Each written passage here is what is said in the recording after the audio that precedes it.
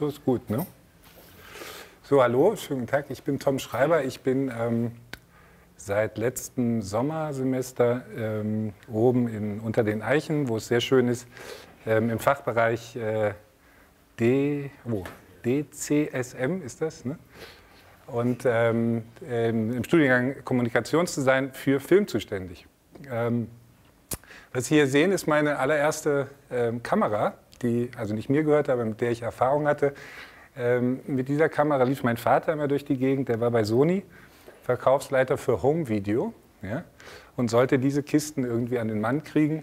Das ist gnadenlos gescheitert, weil diese Dreiviertel Zoll äh, VHS dann äh, Platz machen mussten und VHS sich durchgesetzt hat ein paar Jahre später.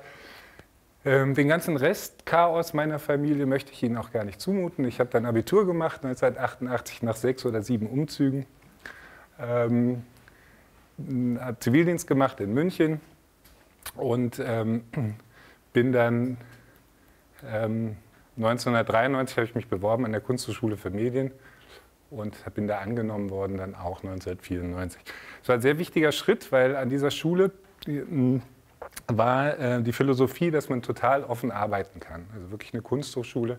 Die Ansätze waren total frei. Wir hatten jegliche Freiheit und wir durften uns ausprobieren und ähm, unsere Handschrift, Handschrift, was immer das auch dann ist, ähm, finden. Ja, ich zeige Ihnen mal mein allererstes Werk ja, aus dieser Zeit. Ich hoffe, man kann das kennen.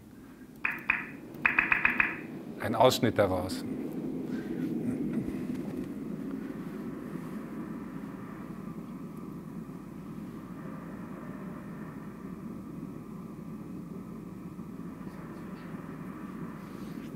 Ging darum, Architektur, also dokumentarische Miniaturen im Architekturbereich. Achso, ich muss wieder ins Bild. Ne? Ja. Und ähm,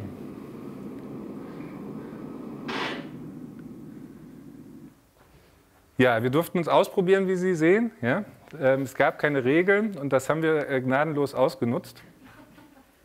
Ähm, während des Studiums bin ich dann 1996, 97 mit einem Stipendium an die ECTW San Antonio de los Baños in Kuba gegangen ähm, dieses Bild, weil es dort tatsächlich diesen Pool gibt. Ja? Ähm, das, die, die, Schule liegt in einem Orangenhain irgendwo 40 Kilometer außerhalb von Havanna, ähm, im Nichts. Aber es gibt diesen wunderbaren olympischen Pool, ja? ähm, den Fidel Castro da hat inbauen lassen. Die ist gegründet worden von Castro, Gabriel Garcia Marquez und äh, Fernando Biri für ähm, äh, Studenten aus Lateinamerika, Afrika und Asien. Escuela de Tres Mundos heißt sie. Ähm, weil die wollten, dass sie sozusagen ähm, eine eigene Filmsprache entwickeln können und nicht auf die westliche amerikanische Welt sozusagen ähm, reagieren müssen. Das ist dann Mitte der 90er, als ich dann war, ist das alles umstrukturiert worden und es durften dann auch Studenten aus dem Rest der Welt dort studieren. War auch eine tolle Erfahrung. Den, den Film, den ich da gemacht habe, den mute ich Ihnen jetzt nicht zu. Ich habe äh, dann meinen Abschluss gemacht an der Kunsthochschule für Medien äh, 2000 mit dem Kurzspielfilm Vita Reducta.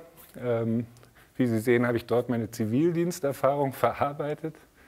Ähm, ich habe keine Zeit, das zu zeigen, aber ich kann Ihnen erzählen, der surft gleich auf dem Sarg den Gang runter. Es geht um, die, ähm, um den moralischen Verfall, den man in dieser Zeit hat, wenn man ständig irgendwie mit Leichen zu tun hat und aber eigentlich gar nicht darauf vorbereitet ist. Ja.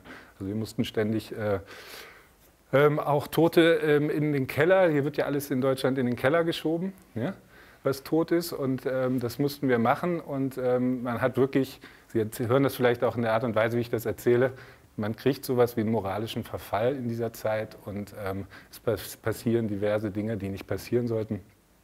Ähm, davon handelt dieser Film. War recht erfolgreich und machte mir auch die Tür auf dann für meinen ersten Spielfilm, auf den ich gleich komme. Ähm, da gibt es nur ein paar Sachen dazwischen. Ähm, mit äh, einigen äh, Studenten äh, von der Kunsthochschule haben wir dann nach, nach Beendigung des Studiums Datenstrudel gegründet. Inzwischen wird das weitergeführt, auch als Firma von zwei dieser Studenten. Aber eine Zeit lang war das eine Aktionsgruppe, in der wir sozusagen das Internet einmal im Monat bespielt haben, als eine Art Web-TV. Das war 2000 noch recht neu. Ja, in diesem Fall sehen Sie hier das Gesicht von Jacques Brel in neun Teile geteilt an solche langen Stangen gebastelt und für die, vor die Verkehrsaufsichtskameras von der Stadt Köln gehangen. Ja, dann konnte man im Internet auf dem Screen nicht neun Kreuzungen, sondern Jacques Brel sehen. Ja. Das war sehr, sehr schön, hat leider nicht funktioniert, weil es so stürmisch war an dem Tag. Ähm, aber die Idee, der Ansatz war schon äh, sehr, sehr schön. Ich gehe jetzt noch mal kurz hier raus, weil das möchte ich Ihnen auch zeigen. Das war eine andere Aktion, die wir gemacht haben dort. Das ist die Olympiade im Liegen. Schnell. Der fliegt, der fliegt. Sehen Sie, wie, wie grandios er sich Oh nein, er stört. Der Großprofet ist gestört, meine Damen und Herren. Ja, das war eine komplette Olympiade im Liegen. Sie sehen hier, es gibt alle Sportarten, die wir auch live kommentiert haben. Und ähm, äh, war ein ziemlicher Klickerfolg für damals. Also wir hatten wirklich viele Leute auf der Seite. Da ging es eigentlich darum auszuprobieren, was kann man mit Formaten im Internet machen. Also das war eigentlich die Idee. Äh, das, wir haben das immer humorvoll versucht zu lösen und dass es uns Spaß macht. Ähm, aber die Idee war damals schon herauszufinden, was kann man eigentlich mit diesem relativ neuen Medium, das man wirklich so livestreamen konnte, damals war ja 2000 noch nicht so richtig ausprobiert, ähm, alles machen. Ähm, da gibt es ganz viele andere Sachen noch davon, www.datenstrudel.de, das lohnt sich mal. Dann äh, bin ich 2000 auch nach Barcelona, also erst nach Madrid, dann nach Barcelona gegangen ähm, habe das jetzt mal für Sie gefüllt mit diversen Regieassistenzen und Arbeiten als Cutter für TV und Werbung. Ja, habe ich auch gemacht. Aber ich habe auch diese Städte sehr genossen. Dann gab es noch die Vorbereitung auf meinen Debütfilm Narren, der dann, äh, den wir dann 2002 in Köln während des Karnevals gedreht haben. Ich habe jetzt keine Szene aus, ähm, direkt von dem Dreh genommen. Ähm, ähm, weil ich nicht von dem Karnevalsdreh, weil ich Ihnen eher ähm, zeigen möchte, was für Figuren für mich wichtig sind.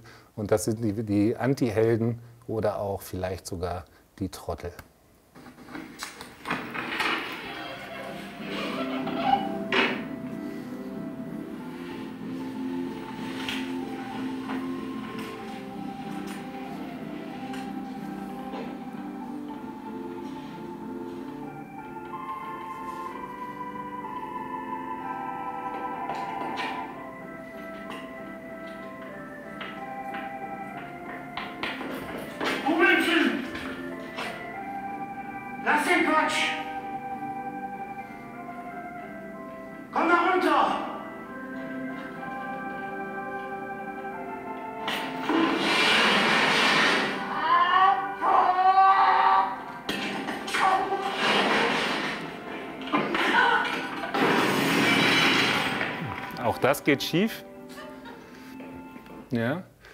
Ähm, wichtig, weil es wirklich, also die Einstellung, Figuren werden Sie noch öfter sehen, ähm, es ist wirklich die Trottelfigur, die mich interessiert. Ja? Der, ähm, der Antiheld, der ähm, ähm, in seiner Trottlichkeit so liebevoll ist, dass er jegliches Klischee durchläuft und erst ganz spät merkt, ähm, dass er sich davon befreien muss. davon geht sehr viel in meinen Filmen. Weltverbesserungsmaßnahmen, meine erste Co-Produzententätigkeit. Ähm, ein Episodenfilm über ähm, diverse Dinge, ähm, wie man die Welt verbessern kann. Ich habe leider nicht die Zeit, näher darauf einzugehen. Und dann 2005 die Gründung der Produktionsfirma 58, 58 Filme. 58 äh, Filme deswegen, wir wollen 58 Projekte machen, die uns am Herzen liegen. Und dann machen wir die Firma zu. Und wir sind bei 29. Also wir haben noch ein bisschen, es verlangsamt sich natürlich extremst, weil mein Kollege Professor in Mainz inzwischen ist seit zwei Jahren und wir jetzt Professoren sind. Das heißt, ähm, es ist extrem langsam geworden. Ja? Die 29 gibt es auch schon da seit dreiviertel Jahr. Wir machen äh, mit, die Firma war auch, ist eher als ein Label gedacht. Ähm, ähm, Achso, warum ich Ihnen das alles zeige, weil das eigentlich die Bandbreite ist, auch die in meiner Lehre natürlich stattfindet. Ja? Also das ist genau das, was ich den Studenten mitgeben möchte. Das heißt, es gibt eine riesige Bandbreite und wir suchen uns immer kleine Teile raus. Und äh, Filme machen kann man eigentlich nicht beibringen. Ja? Eine Kamera kann man nach ein paar Sekunden bedienen und dann kann man einen Film machen. Das heißt, man muss es eigentlich bei, äh, indem man es macht, indem man guckt, indem man viel versucht, herausfinden. Es gibt ein paar Regeln, die man aber Gott sei Dank auch über Bord werfen kann, ziemlich schnell. Äh, Porträts deutscher Alkoholiker, äh, ein Dokumentarfilm, hatte auf der Berlinale 2010 war es, glaube ich, seine Premiere. Es geht darum, dass sechs Alkoholiker ihre Geschichten erzählen. Wir sehen sie aber nicht.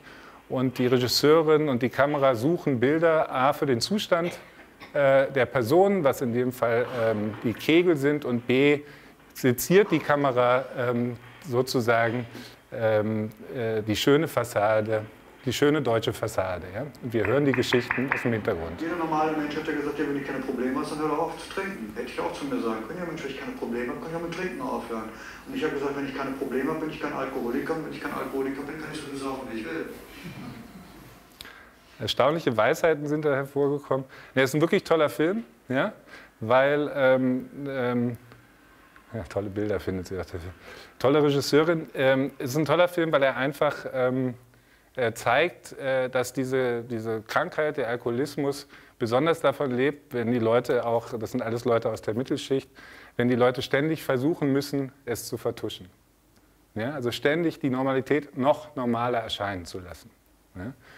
Es äh, lohnt sich auf jeden Fall zu gucken. Ich bin ein bisschen langsam, ne, wahrscheinlich. Ich mache jetzt schnell. Den zeige ich Ihnen auch noch, weil der großer Bestandteil unserer, ähm, äh, des Curriculums oben ist. Stop Motion mache ich immer, sehr gerne. Schweizer, junger Schweizer Künstler, der diesen Film, äh, mit dem wir diesen Film produziert haben, alles in Stop-Motion, in Einzelbildaufnahmen gemacht. Ja. Äh, die haben ein komplettes Haus zerlegt mit diesem Film. Der Film hat eine erstaunliche Karriere, weil wir haben ihn nicht auf den klassischen Filmdistributionsweg Distributions gebracht, sondern wir haben ihn wirklich ähm, in der Kunstwelt angebracht. Es gibt nur dreimal diesen Film als Kopie. Der ist an Sammler auch verkauft. Und was Sie hier sehen, ist so das Maximum, was ich legal überhaupt darf, Ihnen zu zeigen. Ja. Gleich ist auch schon Schluss. Ja. Ja, die Hütte stand dann nicht mehr. Aber es ist ein toller Film. Es geht da auch mehr, um mehr als nur eine Zerstörung des Hauses, sondern es geht auch sozusagen um das eigene Ich und was, ist, was in einem selber drin wohnt. Ja, es hat sehr poetische Momente noch, dieser Film. Dann diese Freunde, Mortimer und seine Kollegen, ähm, auch ein sehr schönes Projekt. Ich zeige es Ihnen schnell, weil ich weiß, ich bin zu langsam. Ähm, äh, Handpuppen, ja, also das ein Projekt, an dem, das finanzieren wir noch. Ähm, äh, wir versuchen Gelder zu geben, ist sehr schwer. Es sind Handpuppen, die wir, ähm, die von der wunderbaren Puppenspielerin Suse Wächter gebaut und gespielt. Das ist sie. Das ist Suse, ja. Die steht dann da in Grün, vor Grün.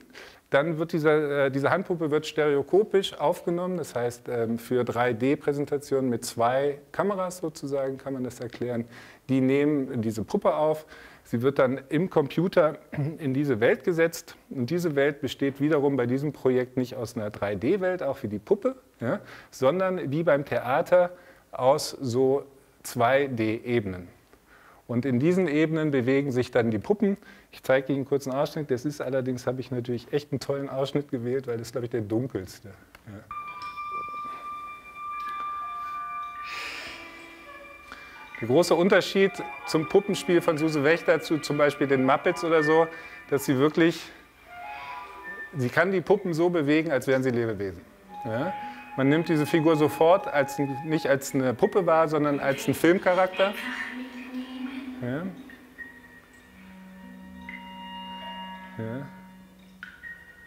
Es ist sehr erstaunlich, man wirklich auch emotional mit diesen Figuren dabei ist. Ja. Ich mache mal hier Stopp, weil, weil sonst dauert es wirklich leider alles zu lange. Was Sie jetzt hier sehen, sind diese einzelnen Ebenen auch. Und in dem 3D, wenn Sie jetzt alle eine Brille dabei hätten, ja, eine 3D-Brille, dann würde das auch so in diesen Raum eine Tiefe geben. Es ja, ist ein sehr, sehr spannendes Projekt, sehr, sehr schwierig zu finanzieren. Wir hoffen, wir kriegen das noch hin.